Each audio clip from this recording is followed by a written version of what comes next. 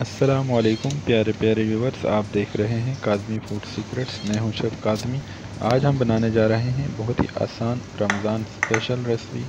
जी प्यारे व्यूवर्स, यहाँ पर हमने हाफ़ के जी चिकन लिया है, अच्छी तरह से वॉश करने के बाद इस बोल में डाल दिया। इसमें एक अंडा हम तोड़ के शामिल कर देते हैं। चिकन पकौड़ा बनाने का बहुत ही आसान रेसिपी प्यारे दोस्तों, इसको आप घर में ज़रूर ट्राई करें। इस रमज़ान में बहुत ही ज़बरदस्त स्पेशल है।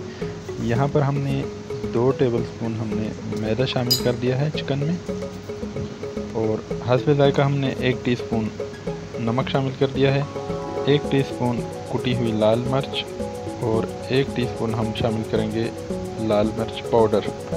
हाफ़ टी स्पून इसमें जाएगा ब्लैक पेपर और उसके साथ हम शामिल कर देते हैं दो टेबल स्पून कॉर्नफ्लोर जी प्यारे प्यारे दोस्तों, अगर आप हमारे चैनल पर नए हैं तो प्लीज़ चैनल को सब्सक्राइब करें लाइक करें और साथ ही लगे बेल का बटन लाजमी प्रेस करें, अपने दोस्तों और प्यारों के साथ ज़रूर शेयर करें। यहाँ पर हमने इसमें शामिल कर दिया है हाफ़ टी स्पून अदरक लहसुन का पेस्ट बहुत ही ज़बरदस्त जायका आएगा इससे।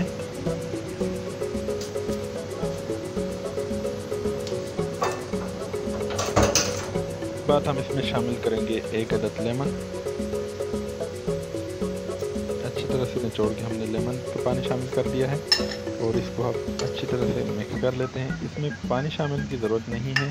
चिकन का अपना पानी होता है। ज़्यादा आप इसमें पानी वगैरह की बिल्कुल भी ज़रूरत नहीं है। ये अच्छी तरह से खुद खुद बेहतरीन सा इसका बैटर तैयार हो जाएगा। ये आप देख सकते हैं। आप अच्छी तरह इसको मिक्स कर देते हैं। मसाला हमारा अच्छी तरह से मिक्स हो चुका है। अब इसमें हमने शामिल कर दिया है दो टेबल स्पून वाइट सिरका और इसको फिर अच्छी तरह से मिक्स कर लेते हैं और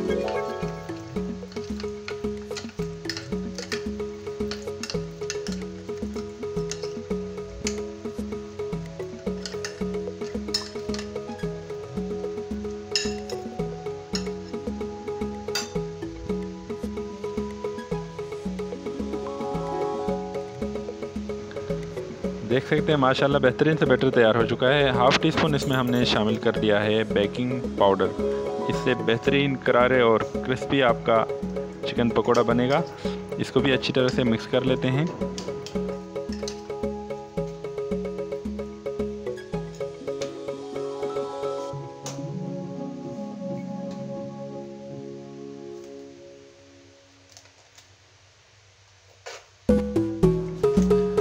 बैटर हमारा बिल्कुल रेडी हो चुका है। इसको हम कवर कर देते हैं और तकरीबन एक घंटे के लिए हमने इसको फ्रिज में रख देंगे। उसके बाद हम इसको निकाल के आते हैं। माशाल्लाह से आप देख सकते हैं, प्यारे वर हम इसको फ्राई कर रहे हैं। बेहतरीन से हमारा करारे क्रिस्पी चिकन पकौड़ा तैयार हो रहा है।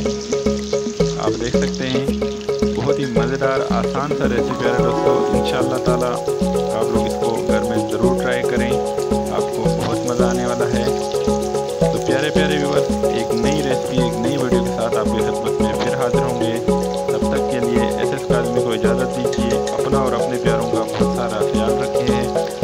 बाबरकत महीना बेहतरीन दुआओं और नमाज़ों और नेक कामों के साथ गुजारिए। अपना और अपने प्यारों का बहुत सारा ख्याल रखिए।